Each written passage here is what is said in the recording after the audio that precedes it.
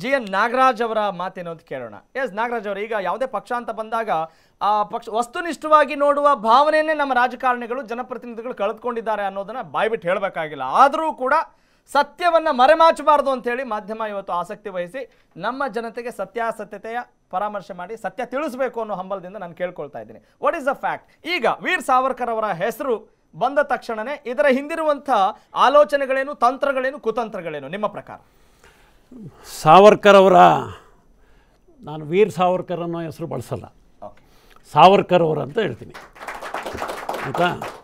ಸಾವರ್ಕರ್ ಅವರ ಒಂದು ಸಂದರ್ಭದಲ್ಲಿ ವಿನಾಯಕ ದಾಮೋದರ್ ಸಾವರ್ಕರ್. ಹಾಂ ವಿನಾಯಕ ದಾಮೋದರ್ ಸಾವರ್ಕರ್ ಅಥವಾ ವಿ ಡಿ ಸಾವರ್ಕರ್ ಅವರ ಸಂದರ್ಭದಲ್ಲಿ ಅವರ ಬಗೆಗಿನ ಚರ್ಚೆಯ ಸಂದರ್ಭದಲ್ಲಿ ಯಾವುದೇ ವ್ಯಕ್ತಿತ್ವವನ್ನು ಇದು ಮಾಡಬೇಕಾದ್ರೆ ಒಂದು ಮೌಲ್ಯಮಾಪನ ಅನ್ನೋಂಥ ರೀತಿಯಲ್ಲಿ ಒಂದು ಅಸೆಸ್ಮೆಂಟ್ ಮಾಡುವಂಥ ಸಂದರ್ಭದಲ್ಲಿ ಅವರ ಒಳಿತು ಕೆಡುಕುಗಳೆಲ್ಲವನ್ನೂ ಕೂಡ ಒಟ್ಟಿಗೆ ಪರಾಮರ್ಶಿಸಿ ಕೊನೆಯ ಒಳಗಡೆ ಏನು ಉಳಿತದೆ ಅಂತ ನೋಡಬೇಕು.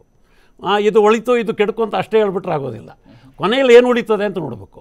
ಆ ಕೊನೆಯಲ್ಲಿ ಏನು ಉಳಿತದೆ ಅನ್ನೋಂಥ ಸಂದರ್ಭದಲ್ಲಿ ಸಾವರ್ಕರ್ ಅವರು ಇಡೀ ದೇಶದ ಖಂಡನೆಗೆ ಗುರಿ ಗುರಿಯಾಗಬೇಕಾದವರು. ಆ ಖಂಡನೆಗೆ ಗುರಿಯಾಗಬೇಕಾದವ್ರನ್ನ ಈ ರೀತಿಯಾಗಿ ಭಾರತ ರತ್ನ ಕೂಡ ಕೊರಡೋದು ಅನ್ನೋದೈತಲ್ಲ ಅದು ನಮ್ಮ ದೇಶದ ಸಂವಿಧಾನ ಮತ್ತು ಪ್ರಜಾಪ್ರಭುತ್ವಕ್ಕೆ ಎಸಗುವ ಅಪಚಾರ. ಒಂದು ರೀತಿ ಅಪರಾಧ. ಯಾತಕ್ಕೆ ಅಂತಂದರೆ ಈ ಭಾರತ ರತ್ನ ಕೊಡೋದು ಸ್ವತಂತ್ರ ಭಾರತದ ಸರ್ಕಾರ ಆ ಸಂವಿಧಾನದ ಅಡಿಯಲ್ಲಿ. ಆ ಸಂವಿಧಾನದ ಉದ್ದೇಶಗಳೇನಿದ್ದಾವೆ ಆ ಉದ್ದೇಶಗಳನ್ನ ಮುಂದುವರಿಸೋದಕ್ಕೆ ಅದಕ್ಕೆ ಒಂದು ಮಾದರಿಯಾಗಿ ಅದನ್ನು ಕೊಡೋದು. ಅಂಥ ಸಂದರ್ಭದಲ್ಲಿ ಆ ಸಂವಿಧಾನ ಮತ್ತು ಪ್ರಜಾಪ್ರಭುತ್ವದ ತತ್ವಗಳು ಅದಕ್ಕೆ ತಿಲಾಂಜಲಿ ಕೊಡುವಂಥ ಇವ್ರನ್ನ ಇದು ಮಾಡೋದು ಅನ್ನೋದೈತಲ್ಲ ಐದು ಐದು ಅಂಶಗಳು ಐದು ಅಂಶಗಳು ಹೇಳಕ್ಕೆ ಬಯಸ್ತೀನಿ. ಮೊಟ್ಟ ಮೊದಲನೇದಾಗಿ ಭಾರತ ದೇಶವನ್ನು ಧಾರ್ಮಿಕ ಭೇದವನ್ನು ಮಾಡಿ ಅದನ್ನು ವಿಭಜನೆ ಮಾಡಬೇಕು ಅಂತ ಪ್ರಪೋಸ್ ಮಾಡಿದವರು ಸಾವರ್ಕರ್ ಅವರು. ಇದು ಒಂದು.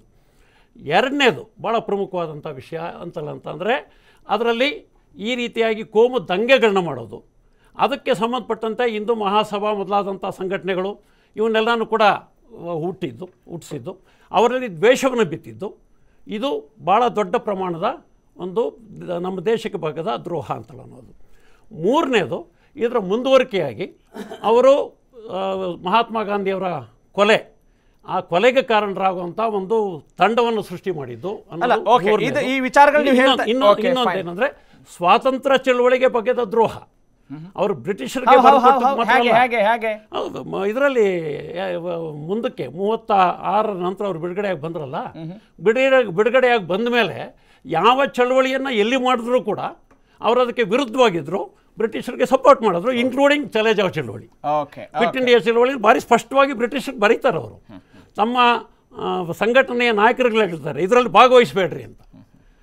ಈ ರೀತಿಯಾಗಿ. ಮತ್ತು ಕೊನೆಯದೇನೆಂದರೆ ಮುಸ್ಲಿಂ ಲೀಗ್ ಅವರು ಭಾರತ ದೇಶದ ಒಳಗಡೆ ಭಾರಿ ದೊಡ್ಡ ಹನನ ಮಾಡ್ತಾ ಇರುವಾಗ ಹತ್ಯೆ ಮಯದ ಮಾಡ್ತಾ ಇರುವಂಥ ಸಂದರ್ಭದಲ್ಲಿ ಅವ್ರ ಜೊತೆಲಿ ಸೇರಿ ಇವರು ಸರ್ಕಾರ ಮಾಡ್ತಾರೆ. ಹೌದು.